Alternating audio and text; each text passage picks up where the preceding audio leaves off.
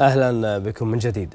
أعلنت وزارة الصحة وقاية المجتمع عن إجراء أكثر من 470 ألف فحص ضمن خططها لتوسيع نطاق الفحوصات والكشف عن 626 إصابة جديدة بفيروس كورونا و1994 حالة شفاء وحالة وفاة واحدة خلال الساعات الأربع والعشرين الماضية.